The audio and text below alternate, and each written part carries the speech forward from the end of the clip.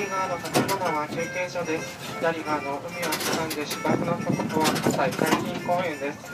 先ほどの渚橋を渡っていきますとあちらまで行くことができます。その先に見えます風車は江東区が若洲海浜公園に建設した日本最大級の風車です。高さ100メートルにもなる風車の年間発電量は約350万キロワットで一般家庭の1000世帯分の肥料に当たるそうです。その左側にはゲートブリッジがご覧いただけます。ゲートブリッジは大田区の城南島と江東区の若洲とを結ぶ東京も臨海道路に架けられた橋です。恐竜と恐竜が向かい合っているように見えることから恐竜橋とも呼ばれております。またこちらからは見晴らしがよろしければお台場方面や富士山東京タワーなどもご覧いただけます。